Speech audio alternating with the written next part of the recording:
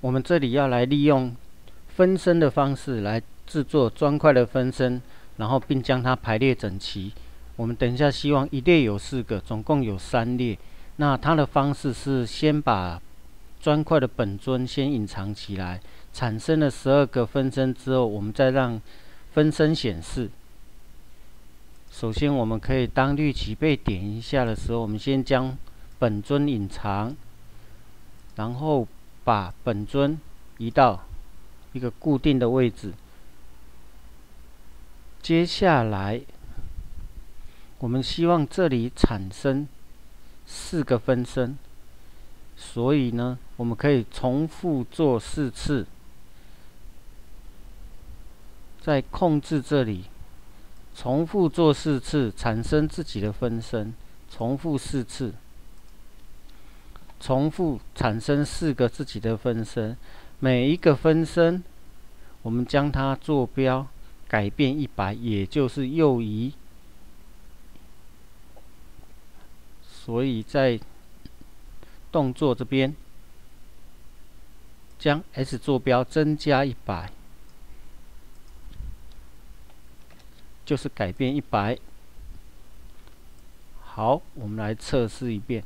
因为这是隐藏起来的分身，所以我们可以在控制这边，当分身产生的时候，我们让它显示出来。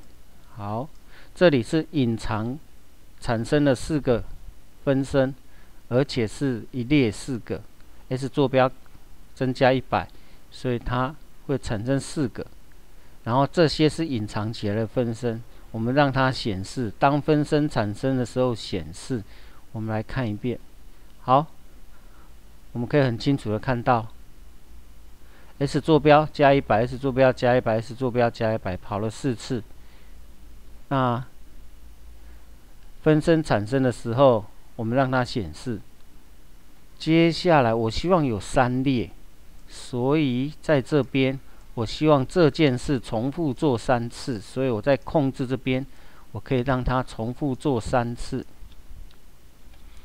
但是这里要注意的一点是，第二次的时候，它的 Y 坐标其实是往下移的，也就是它的高度是往下移的。第二列，所以呢，我们在这边。我们可以把第一个的坐标往下移，每下移一列，y 坐标就减三十五，所以我们可以来这样子处理。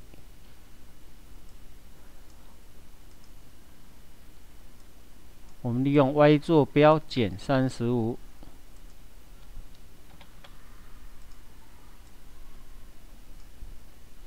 每换一列 y 坐标就减三十五。好，我们来看一次。所以总共换三次，换跑三次。好，这样子我们很快的就可以做好了十二个排的很整齐的。那我们下次可以透过这些地方来调整。比如说我要四列，我只要在这边改四。